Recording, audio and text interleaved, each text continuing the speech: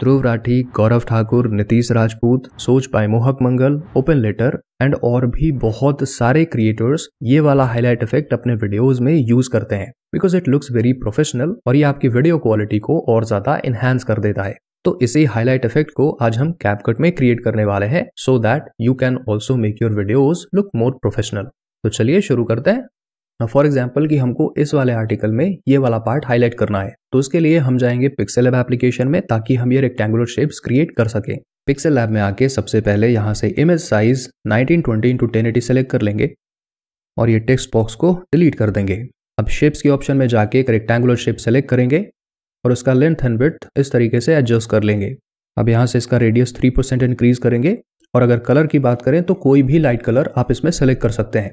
जैसे yellow green sky blue pink purple but मैं अभी येलोइश कलर ही सेलेक्ट कर लेता हूँ और ओके पे क्लिक कर देता हूँ। ये करने के बाद टिक कर देंगे और यहाँ शेडो के ऑप्शन में जाके इसमें शेडो भी ऐड करेंगे, इसका ब्लर रेडियस फाइव कर देंगे और एक्स एंड वाई को भी थोड़ा सा एडजस्ट कर लेंगे।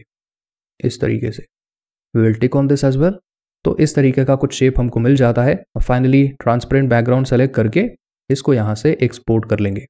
एज सिंपल एज दैट हमको यहाँ पे दो लाइंस हाईलाइट करने हैं और दोनों का साइज़ अलग अलग है तो रेक्टेंगुलर शेप का साइज़ भी अलग होना चाहिए। इसीलिए एक और शेप हमें यहाँ पे क्रिएट करना पड़ेगा। तो हम इसी को सेलेक्ट करते हैं और यहाँ रिलेटिव साइज़ में जाके इसका विथ सिर्फ़ कम कर देते हैं। इस तरीके से इसको मिडिल में लेके आ जाएँगे। And finally we will click on export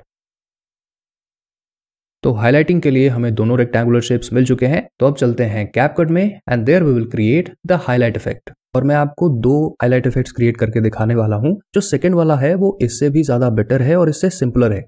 तो सबसे पहले अपना आर्टिकल यहाँ से इंपोर्ट कर लेते हैं। ये इंपोर्ट हो गया आर्टिकल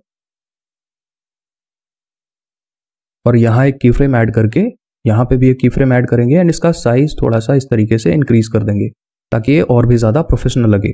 अब ओवरलेस के ऑप्शन में जाके हमने जो शेप क्रिएट किया था, उसको इंपोर्ट कर लेंगे। और इसको यहाँ पे, जहाँ पे भी हमको हाईलाइट करना है, वहाँ पे पोजीशन कर देंगे। इसका साइज़ भी यहाँ तक इंक्रीज कर देते हैं। और अब चलते हैं मास्किंग के ऑप्शन में। सेलेक्ट करते हैं हॉरिजॉन्टल मास्किंग और रोटेट कर लेते हैं इसको माइनस नाइन्टी डिग्रीज अब यहाँ पे ऐड करेंगे हम एक की फ्रेम याद रखिए, ये मास्किंग वाला की फ्रेम है। ये नॉर्मल जो पोजीशन चेंज करने वाला की फ्रेम होता है that is not this one तो इसका हम पोजीशन कर लेंगे। यहाँ पे स्टार्टिंग में फीचर कर देंगे 15 अब यहाँ पे आके एक और की फ्रेम हम ऐड करते हैं और इसका पोजीशन बिल्कुल एंड तक लेके चले जाते हैं। फीचर को ज़ीरो कर देंगे और फाइनली ब्लेंड के ऑप्शन में जाके बर्न का इफ़ेक्ट सेलेक्ट करेंगे। अगर आप कलर बर्न का इफ़ेक्ट सेलेक्ट करोगे तो वो भी काफ़ी अच्छा रहता है, ये देखिए। लेकिन फ़िलहाल मैं कलर बर्न इफ़ेक्ट सेलेक्ट कर रहा हूँ मतलब ब्लेंडिंग इफ़ेक्ट तो अब देखिए हमारा फाइनल रिज़ल्ट कैसा आने वाला है। यही सेम चीज़ आप भी खुद के लिए क्रिएट कर सकते हैं। और नीचे वाला भी लाइन हाईलाइट करना है तो उसके लिए वापस से ओवरलेस में जाके हम दूसरा रेक्टेंगुलर शेप सेलेक्ट करेंगे एंड सेम प्रोसेस रिपीट करेंगे तो इसमें भी यहाँ पे सबसे पहले इसको पोजीशन कर लेते हैं। चलते हैं मास्क के ऑप्शन में हॉरिजॉन्टल मास्क सेलेक्ट करेंगे। रोटेशन माइनस नाइन्टी पोजिशन यहाँ पे कर देते हैं। फीचर कर देते हैं फिफ्टीन एक और की फ्रेम हम यहाँ पे ऐड करते हैं। फीचर ज़ीरो पोजिशन लास्ट इसका हो गया काम। अब हम चलते हैं ब्लेंडिंग के ऑप्शन में। इसको कर लेते हैं बर्न और अब देखिए।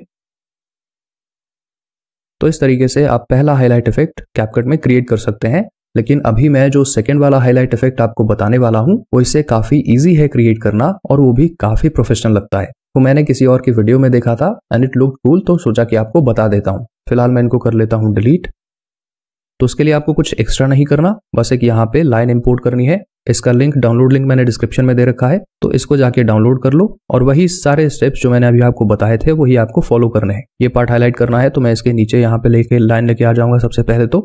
फिर मास्किंग के ऑप्शन में जाके और मास्क सेलेक्ट करो रोटेशन करके माइनस डिग्रीज रोटेट करो फीचर में जाके थोड़ा सा फीचर इंक्रीज कर दो की फ्रेम ऐड करो, इसका स्टार्टिंग पॉइंट पे लेके चले जाओ और यहाँ पे आके एक और की फ्रेम ऐड करो फीचर इसका ज़ीरो कर दो पोजीशन इसका एंड कर दो और इसमें आपको ब्लेंड करने की कोई ज़रूरत नहीं है। ये देखो।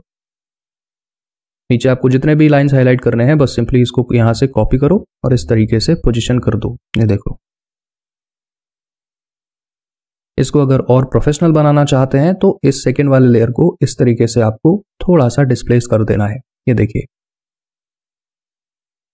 इसमें आपको हर लाइन हाईलाइट करने के लिए डिफरेंट शेप्स क्रिएट नहीं करने पड़ेंगे। एक सिंपल सी लाइन है, उसमें ही आप मास्किंग टूल यूज़ करके जितना पार्ट आप हाईलाइट करना चाहते हैं, उतना पार्ट आप हाईलाइट कर सकते हैं। तो आप भी अगर अपने वीडियोस में चाहो तो कैपकट से ही हाईलाइट इफेक्ट्स क्रिएट कर सकते हो और अपने वीडियो को थोड़ी और ज़्यादा प्रोफेशनल बना सकते हो। बट क्रिएटर्स में एक बहुत बड़ा मिसकनसेप्शन है कि अगर वो सिर्फ़ अच्छी वीडियोस क्रिएट करते हैं तो उनकी वीडियोस वायरल हो जाएँगी, जबकि ऐसा नहीं होता। और ऐसे ही मिसकनसेप्शन की वजह से a lot of creators never ever grow on YouTube और यूट्यूब पे लोग फेल क्यों होते हैं, वो मैंने इस वीडियो में बहुत अच्छे से डिस्कस किया हुआ है तो आप वो वीडियो भी चेकआउट कर सकते हैं। Thank you